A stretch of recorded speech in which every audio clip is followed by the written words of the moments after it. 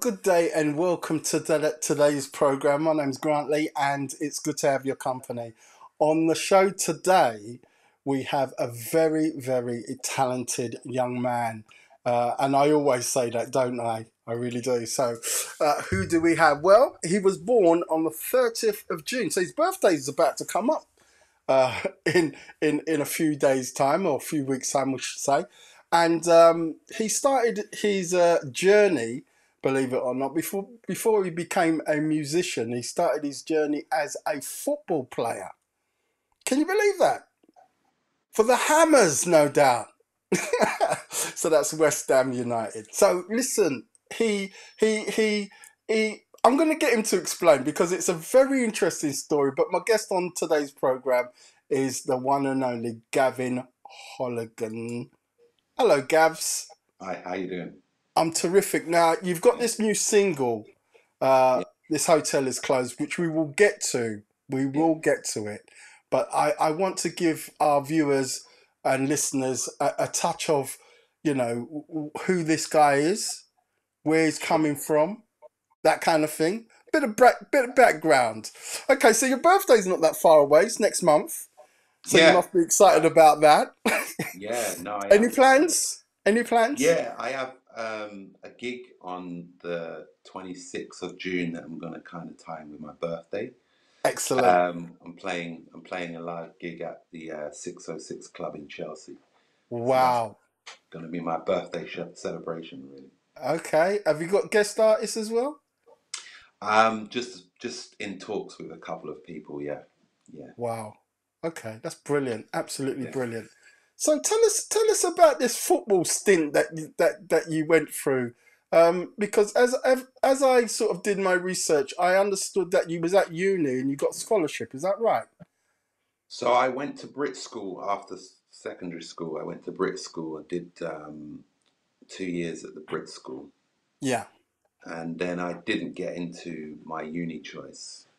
So so I went and done. Um, I went and signed for Kingstonians, which was like a Vauxhall Conference team at the time, and I played there for a few months, and then done really really well, and um, a lot of clubs started kind of looking at me, and Quite a lot of clubs. yeah, yeah, there were there were quite a number of teams interested in me, um, and West Ham was the one that done the deal. So Okay. that's it. Must have been a very exciting time at the time, you know, being, you know, picked for a, a well-known team.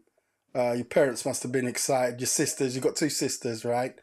Um, but yeah, it, that that that that excitement playing with West Ham didn't last too long, did it? What what happened there? Um, there was a number of factors that um, took place. Um, injuries was a big part of that, and um, lack of you know form, lack of confidence, um, and just a few kind of episodes that didn't put me in the you know best um, favor with the management a couple of times.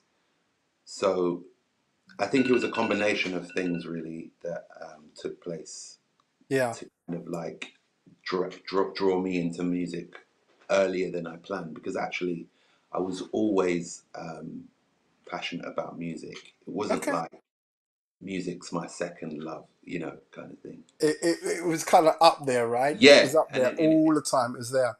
And yeah, you come from a kind of musical family as well, don't you? You, you, you, yeah, exactly. I know your one of your sisters is currently on tour with some some well-known people. Yeah, she's always touring with wellness. She's always touring.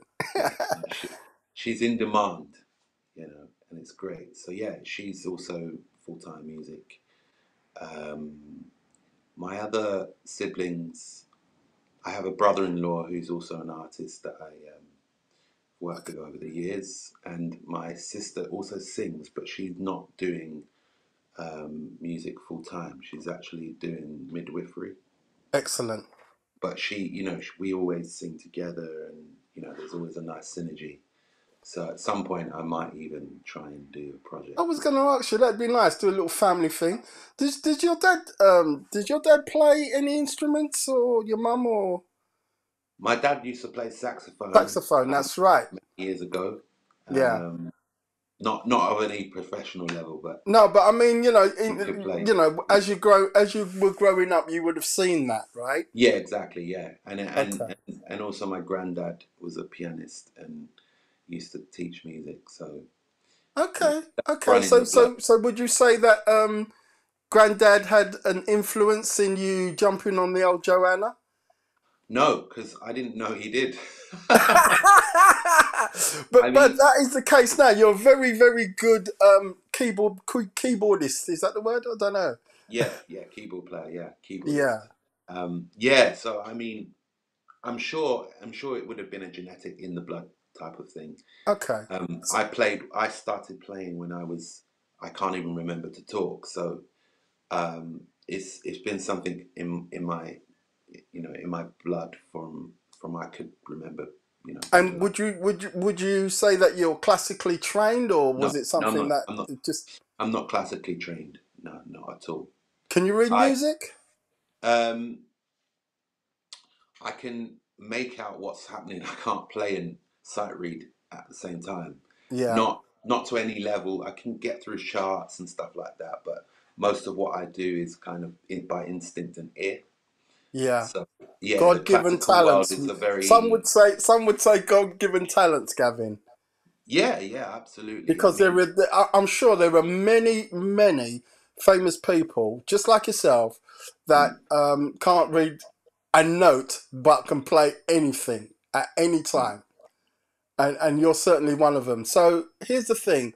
I, I, I've been studying you now for, for a long time. I know the family. And um, one of the things that I've noticed about you is, you know, your your ability to get on well with other people. You've um you've you've played with Stevie Wonder. Um, and just name a few of the people because I know you you did some work with Floetry at one point as well, right? yeah, yeah. Um, yeah, so it was Stevie Wonder, there was Gloria Gloria Gaynor, there was Wow, Duffy, there was uh, Shola one wow. point, Okay. What was it like? What was it like with with with Stevie? Because you know, being a Motown legend, you Mm, know that must have been something where you had that learning opportunity to, you know, yeah, because he plays keys as well. He plays, you know, yeah, you know, mouth organ and and stuff like that. What was it yeah. like working with Stevie Wonder? I think he was a bit jealous of me. I'm joking. I'm joking. Um, it was incredible. Steve, like Stevie Wonder's one of my biggest um, heroes. So What's your um, favorite Stevie Wonder album? songs in the key of life, Keys of Life. Yeah, everyone says that. or Why? Why? Why? second could be Yeah. Talking Book. Okay. Why? Why? Why those two though? Why those two? I know them. I know them really well, and and a lot of the songs are some of my favorite songs. So like um, on the Talking Book album, he's he's got this song called um, "You and I," if I'm not Yeah. I lo- absolutely love that song. Love that song. Yeah, Love it. just Love it. such a good song, such a good feeling. And then he's also got "Blame It on Blame It on the Sun" on the album, which is, which again I absolutely love that song. And it's just a great feel um, in general, like as an album, the color of it. And Yeah. songs in the key of life, same thing, just killer songs, killer killer songs. Every song could be a single easily, easily. easily. Yeah, and very Yeah. very wide in its kind of appeal. You've got something for the die-hard, you know, muso heads, and you've got stuff stuff that's a little bit more kind of middle of the road, and it, it just ca- caters for everyone. So I, I, I really appreciate what you've done on the album. Most definitely. Now for you, you're just getting ready. You've released um, music before, you know, your Mm. own productions and stuff like that. But this is a special one for you, isn't it? I mean, obviously, uh, so many artists have gone through this last, you know, 24 months, 26 months of not being able to tour or, or, or anything of that nature. Um, the song that you've you've decided to put out at the moment holds a special meaning for you. Tell us what this hotel is closed is all about. The song was born out of um, my decision to kind of sever ties with, you know, a partner that kind of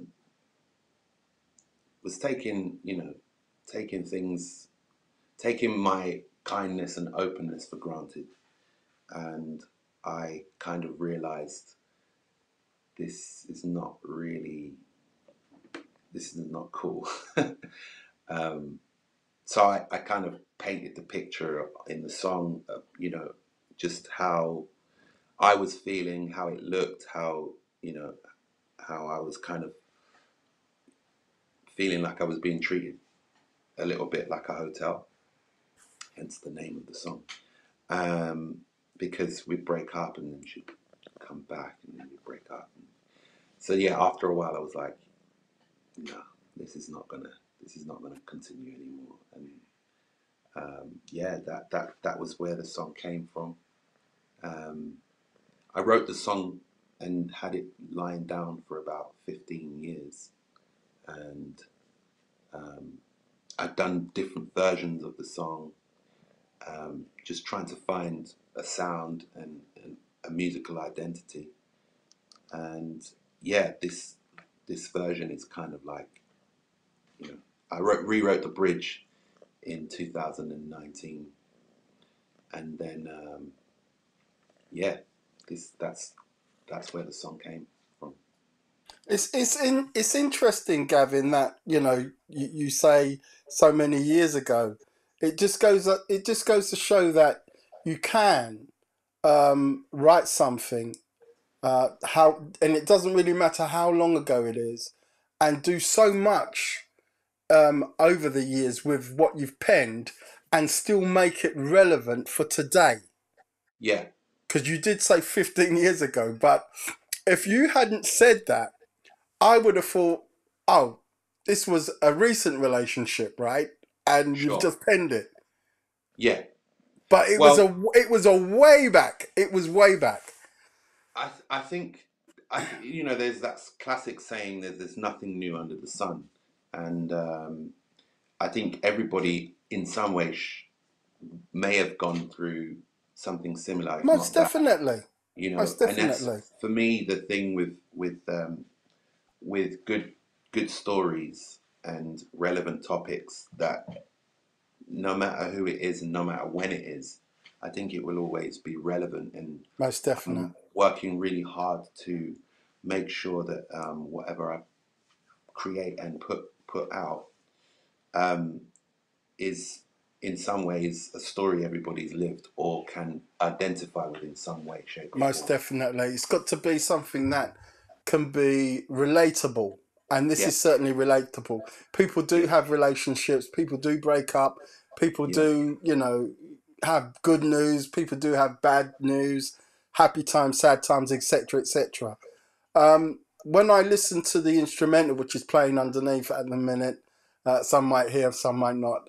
Um, I, I I listened and I thought, wow, this is. Listen, you could put this out as a jazz track. The the instruments and, and, and everything. Who played the instruments on, on the song? Did did you? Ah, yeah. Did you That's call in some favors? That's a good question. Um, so drums was Nathan Allen, um, an amazing drummer. Um, on upright bass is a good friend of mine, um, and he plays on most of my records. Neville Malcolm. Neville Malcolm. Yeah, Neville Malcolm. Yeah. Um, on key uh, piano, there's another good friend of mine, Alex Montague. On Hammond organ uh, is another good friend of mine, Luke Smith. Yes. Um, on acoustic guitar is another good friend of mine, Eric Apapule. Um, and these are all, you know, world class musicians. Absolutely. Uh, Bold on percussion. Um, who else is there? As BVs, there is uh, Sarah Brown, who's an incredible Uh-huh. Vocalist. Yeah. It's actually my sister, Emily, who I told you about earlier. Okay. And then there is uh, another good friend of mine, Demi Ma, who's who's also a vocalist as well, um, artist in her own right. And then there is on horns, um, there's uh, Jack Birchwood on trumpet, Yeah. um, incredible player as well. And then um, Andrew Ross, who done the flutes and sax and done um, quite a good portion of the arrangement um, with myself and Luke. Um, the the the um, horn arrangement. He's Okay. incredible. Um, went to see, Absolutely incredible. And then there is uh, Tanya Ilyshova on the string arrangement, who we did we did the string arrangement um, a long time ago actually. Yeah.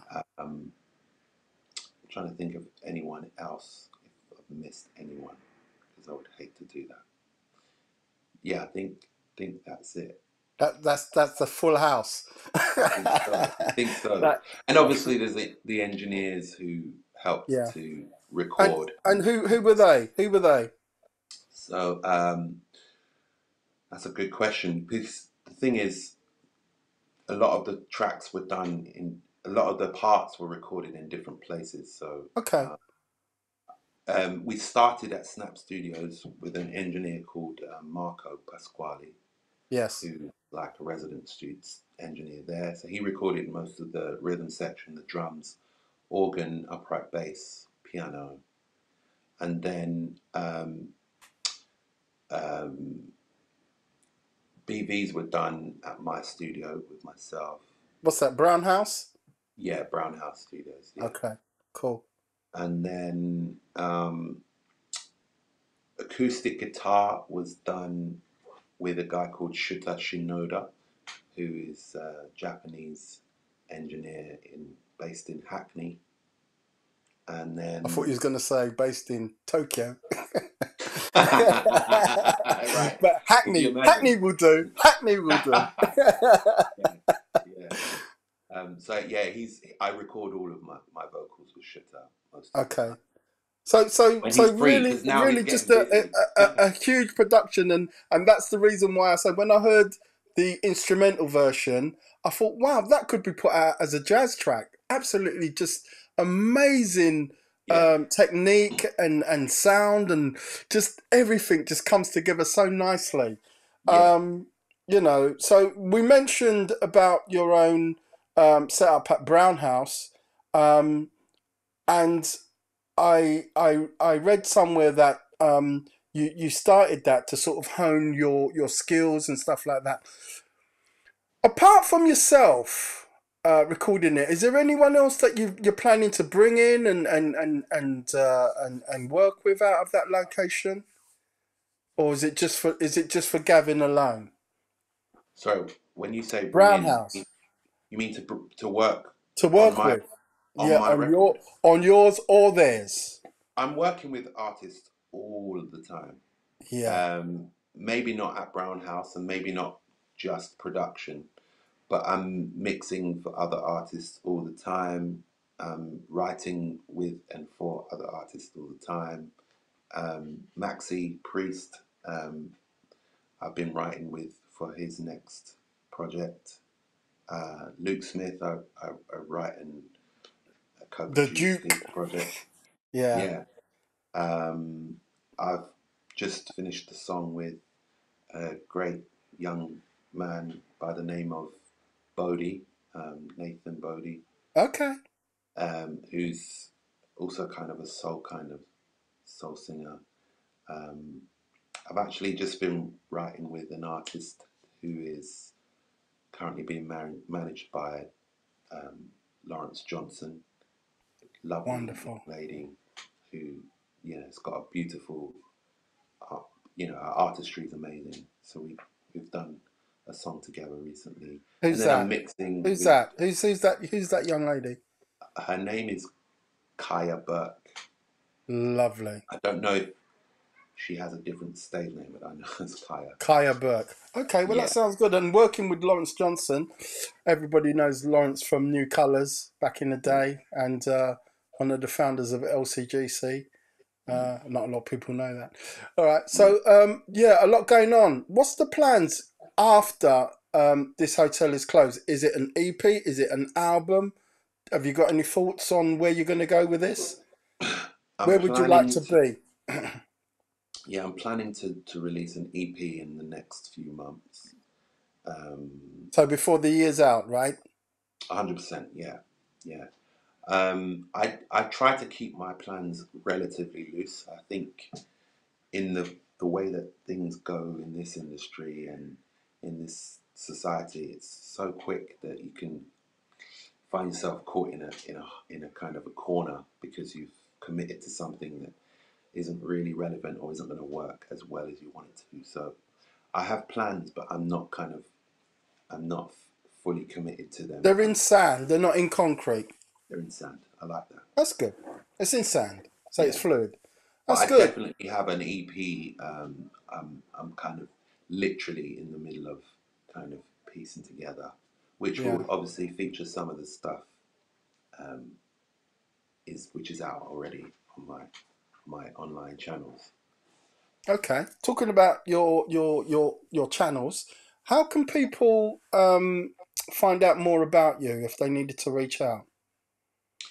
Um, so I'm on all the social channels, but I think everything should be um, accessible from my website, which is uh, my name, gavinholligan.co.uk. Two. L's. Oh, I'm not hooligan. as I as I mistakenly put, um, Everyone does it. Everyone does it. you're a hooligan. Everyone no, does it. no, you're a hooligan. It's, You're it's hooligan. funny because I because I obviously was a footballer. It, it's it's ironic, but you know, there's only so Yeah. far you can. You're a football hooligan. yeah, yeah. Gavin, it's been really nice um, catching up with you. I know that I have this feeling because when I listen to your music, it just it it just seems like you know you're you're you've got a, um. Don't get this wrong. You're an old soul, but in a in in a new youngish. You know, there's a lot going on upstairs. Mm. Um, and I no, I, I can tell, I can tell, and I can't wait for you to just burst loose because I feel like there's a there's a little bit of mm, little bit you haven't quite just burst out yet, and I feel like that's about to happen. That's how I feel, and I'm looking forward to that. And you know, what with the doors opening again now, you know, I'm Yeah. looking forward to to hearing about you being all over the world. yeah, Um, you've certainly been drawn by um, some names that have gone before you. Um, you know, you've been MDs on a few big gigs as well, haven't you? You've been Yeah, called in as MD yeah, yeah. MD or produ- producer, or arranger. producer, arranger. Just depends. that. I'm I'm wearing loads of hats. So. It's brilliant. It's brilliant. Mm. And um, I did want to get into some other stuff, but I think I'm going to save it for when the EP comes out. Please promise me that you, we'll, we'll get more time with you when that happens, yeah? Of course, of course. For now, thank you Yeah. so much to my guest. Gavin Holligan, not Hooligan. And um, I'm looking, I'm looking forward to speaking to him again. But for now, uh, you've been watching the Straight Up program with myself, Grantly, my guest, uh, Gavin Holligan. Thank you so much for watching. Remember that you can subscribe uh, and like and share, and I'll catch up with you again on the show next time. Take care.